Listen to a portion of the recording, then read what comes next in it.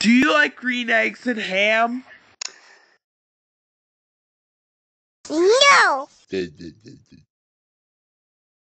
Why?